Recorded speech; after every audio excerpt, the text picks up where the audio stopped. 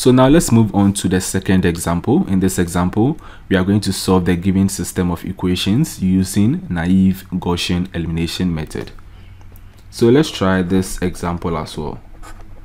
Now, like we did in the previous example, we first need to represent the system in the augmented form. So we are basically going to write down the coefficients of x1, x2, x3. So we have 3, negative 0 0.1, negative 0 0.2. We have the vertical bar 0 0.1, 7, negative 0 0.3, 0 0.3, negative 0 0.2, 10 and then on the right hand side we have 7.85 negative 19.3 we have 71.4 now after representing this system in an augmented form the first thing we need to do is to do forward elimination. That is where we are going to reduce this system to an upper triangular system so that we have these three values going to zero.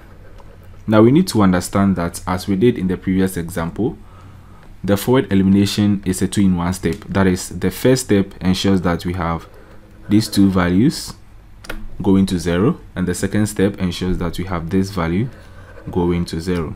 So let's first of all begin with the first part of the forward elimination step. That is where we are going to consider row 1 as the pivot row and then 3 as the pivot element so that we want to make these two values go to 0. So, to make 0.1 go to 0, it means that we are going to perform elementary row operation on row 2. And what is the operation? Now, to make this value go to 0, we simply multiply row 1. Okay, we simply multiply this row, that is row 1, by 0.1 over 3. 0.1 over 3. Now the first element for row 1 is 3. So assuming we have a 3 here, so if this is 3, then we multiply row 1 by 0.1 over 3. 3 cancels out 3 and then we have 0.1 left. So we subtract that value, this new value from row 2 and then you realize that because these two values are the same, we have a 0. Therefore, the elementary row operation for row 2 or that is being applied on row 2 is basically 0 0.1 over 3 that is 0 0.1 over 3 times row 1 and then we subtract that from row 2 similarly to make 0 0.3 also go to 0 we are going to perform elementary row operation on row 3 and then the operation is we are going to multiply row 1 by 0.3 over 3. So if you multiply row 1 by 0.3 over 3, we have the first element for row 1 to be 3. 3 cancels out 3. We subtract the results from row 3 and then you realize that we have 0. So that is also going to be 0.3 over 3 times row 1. We subtract the results from row 3 now notice that the reason why we want to multiply 0.1 over 3 0.3 over 3 by row 1 is that row 1 is the pivot row so we are going to obtain a new augmented matrix a new augmented matrix where row 1 remains the same. So we have 3 negative 0.1 negative 0.2 and then we have 7.85 on the right hand side. Now we effect changes to row 2 and row 3 so for row 2 we have 0.1 over 3 times first element of row 1 so that is we are going to consider column 1 so first element of row 1 is 3 so 0.1 over 3 times 3 3 cancels out 3 we are left with 0.1 and then first element for row 2 is 0 0.1 so 0 0.1 minus the 0 0.1 we have here then it means that we have this value to be a 0 next we move on to the next column. That is the second column. We have 7 minus 0.1 over 3 times negative 0.1 and that becomes 7.00333 notice that we need to put this value in six significant figures. Now we move on to the third column. We have negative 0.3 minus 0.1 over 3 times negative 0.2 and that's going to give us negative 0.293333 also in six significant figures. We move on to the next column.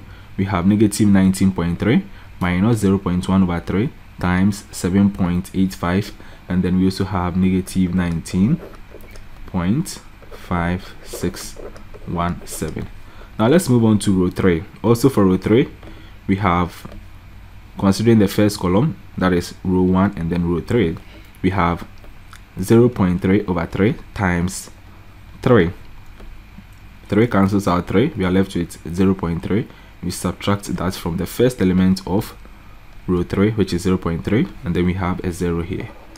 We move on to the next column. We have negative 0.2 minus 0.3 over 3 times negative 0.1 and thus we have negative 0.19 we move on to the next column. We have 10 minus 0.3 over 3 times negative 0.2 and that becomes 10.02 now to the last column we have 71.4 minus 0.3 over 3 times 7.85 and then we also have 70.6150 70.6150 so this is the results after doing the first part of the forward elimination step. Now let's move on to the second part of the forward elimination step. So with this we are going to consider row 2 as the pivot row. This is the pivot row. And then we consider this element as the pivot element which means that we want to make the value below 7.00333 which is this go to 0 now to make this go to 0 we perform elementary row operations on row 3 you perform elementary row operations on row 3 so you perform that on row 3 literally supposed to be here but then there's no space.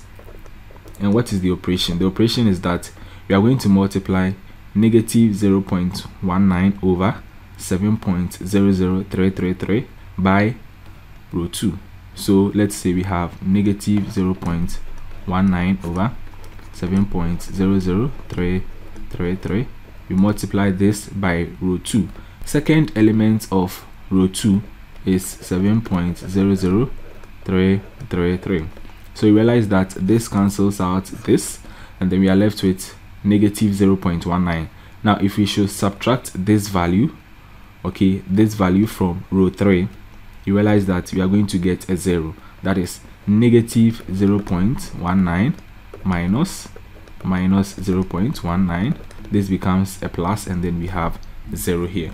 So we are going to perform elementary row operations on row 3 and what is the operation? The operation is we have negative 0.19 divided by so it looks like there's no space here. So let me modify this. So we perform the operation on row 3 and the operation is that we are going to multiply negative 0.19 over 7.00333 by row 2 because that is the pivot row. So by row 2 and then we subtract the result from row 3 now literally because we have negative negative here it becomes positive. Okay so we can basically make this positive. So let me just modify it here. So it becomes 0 0.19 over 7.00333 by row 2 and then so it becomes positive. So row 3 that is plus row 3 so we are going to obtain a new augmented matrix. Row 1, row 2 remains the same. We have 3,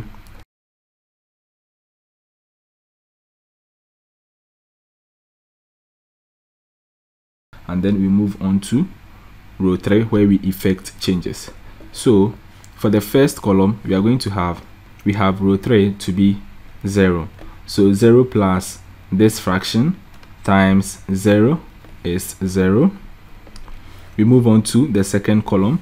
We are going to have negative 0.19 plus 0.19 over 7.00333 times 7.00333 so this will cancel out that we are left with 0.19 and then this value is negative 0.19 so negative 0.19 plus 0.19 is also 0 we move on to the third column. That is where we have 10.02 plus 0.19 over 7.00333 times negative 0.29333 so we are also going to obtain we are also going to obtain 10 0.0120 and then for the last column we have 70.6150 plus 0.19 over 7.00333 times negative 19.5617 and then you also have 70 we have 70.0843 so this is the end of the forward elimination step. We've been able to modify or transform this system into an upper triangular system where all these three values are equal to zero. All these three values are equal to zero. So the next step is to do back substitution. We're going to do back substitution. So for back substitution notice that first column corresponds to x1 second column x2 third column x3 so we have 0x1 plus 0x2 plus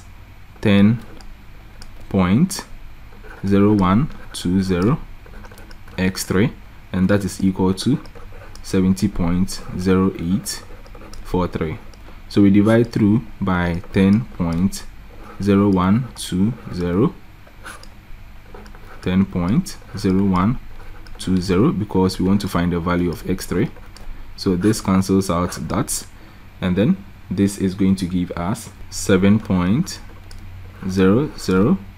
7.00003 so we can conclude that x3 is equal to 7 so this is the value of x3 now for row 2 we are going to put in x3 equals 7 so that is where we are going to have we are going to have 7.00333 times x2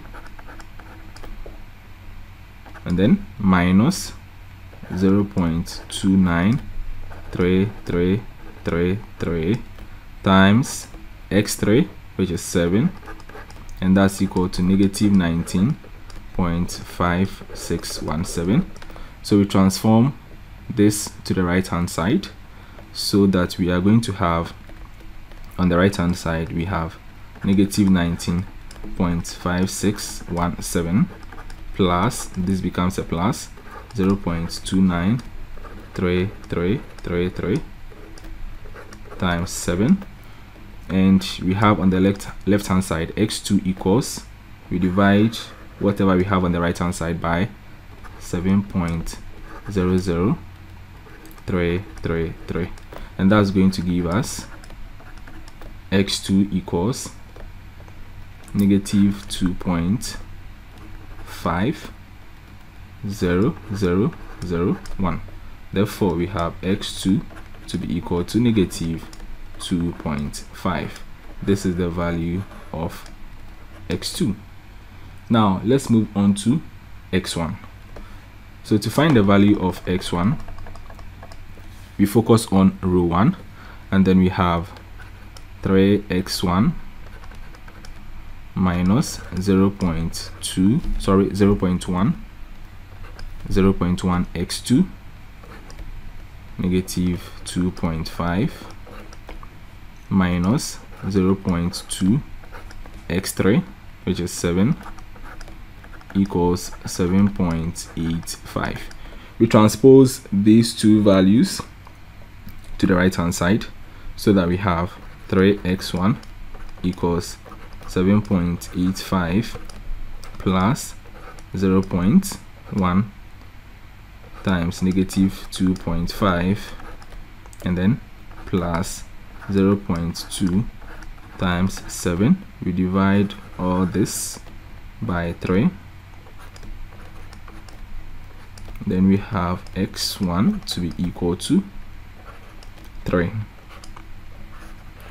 so we have x3 equals 7 x2 equals negative 2.5 and then x1 equals 3 therefore we have the solution vector x to be equal to the column matrix 3 negative 2.5 7